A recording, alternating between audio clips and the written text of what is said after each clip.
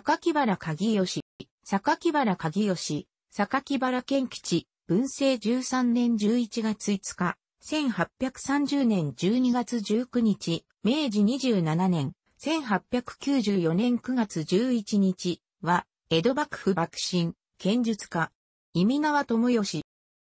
幕末期に、小谷信友から直新影流小谷派剣術を継承し、公部所剣術師範役、遊撃隊頭取を務める。明治維新後は、激剣工業を主催して困窮した士族を救済したことや、天覧兜割りの成功などで知られ、最後の剣客と呼ばれる。稽古で、長さ6尺、180センチメートル、重さ3貫、11キログラムの振り棒を2000回も振ったと言われ、腕回りは55センチメートルあったという。江戸麻布の疲労に生まれる。花房市の血を引く榊原元直の系統である、御家人、榊原増太郎友直の子。五人兄弟の長男であった。天保13年、1842年、13歳の時に、自家新影流剣術、小谷信友の道場に入門する。当時、小谷道場は、広尾から近い間宮穴にあった。しかし、同年に母が死去し、父、増太郎は、下や根岸に移ったために間宮穴は遠く不便となった。その上、鍵吉は亡き母に代わって、家の雑務や、兄弟の面倒を見る必要があった。見かねた大谷は、玄武館、私学館、連兵館など名のある道場の方が近くて便利だと、遺跡を促した。しかし、鍵吉は、一旦入門した以上は他に移る気はないと言って、通い続けた。鍵吉はめきめき上達したが、家が貧乏なため、進級しても、切り紙や目録など、費用のかかる免状を求めたことがなかった。嘉永2年、1849年、小谷は事情を察し、小谷の方で用意を整えてやり、鍵吉に免許改伝を与えた。安政3年、1856年3月、27歳の時に、小谷の推薦によって、公部署の剣術教授方となる。後に、師範役に進む。安政7年、1860年2月、公部署が築地から神田小船長に移転した際、2月3日の会場式に将軍、徳川家持、大老、井伊直輔ら幕閣が臨席しても半試合が開かれた。鍵吉は、総実の高橋霊州、健三郎と試合する。すでに高橋は、井戸金平と対戦して、相手の得意技である、足絡みで勝ち、席を沸かせていた。鍵吉は高橋に勝って、万座の喝采を浴びた。これを家持が気に入り、鍵吉は、将軍の個人教授を務めるようになる。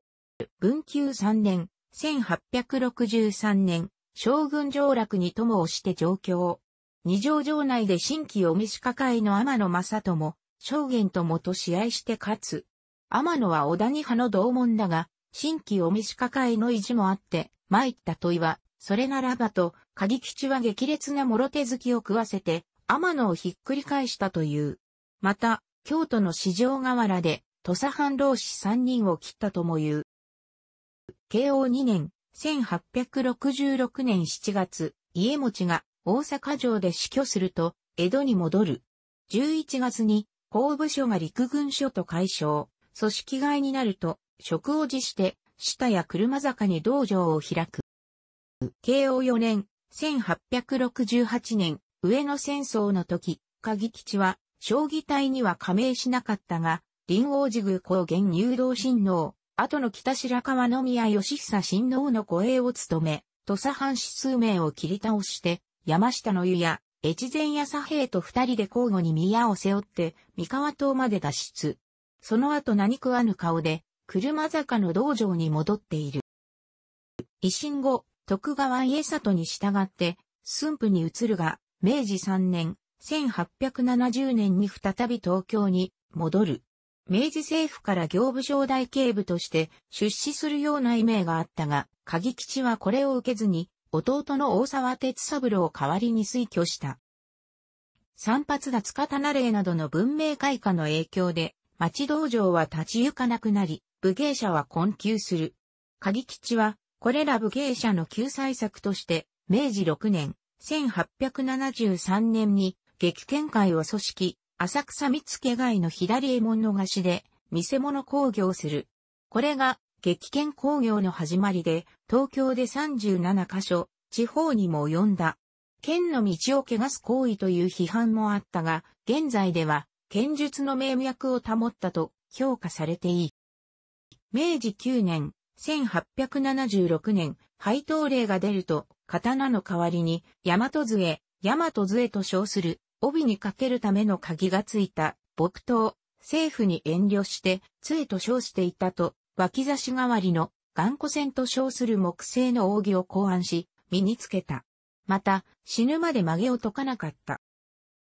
明治11年、1878年、明治天皇が上野に行幸し、天覧試合が挙行された。鍵吉は主催として審判を務めた。明治12年、1879年、警視庁に激剣世話係が創設されると、鍵吉は審査員として採用者を選抜した。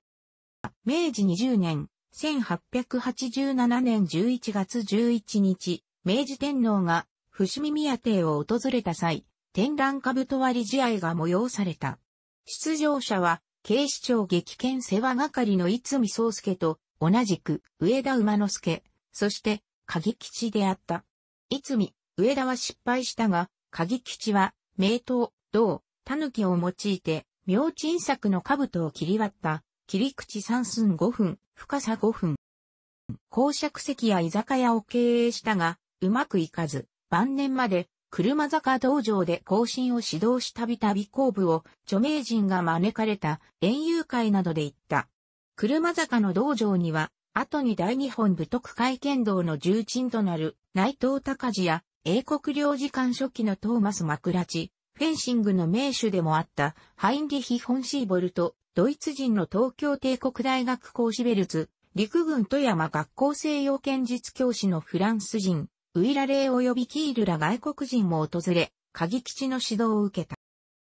明治27年、1894年元旦、弟子の山田次郎吉に、自家新影流の免許改伝を授け、同流第15代と道場を譲る。9月11日、活気昇進により死去。去年65、四谷西王子に葬られた。法名は、吉光院杖山大和沖縄古寺。平成15年、2003年、全日本剣道連盟の剣道伝道に検証された。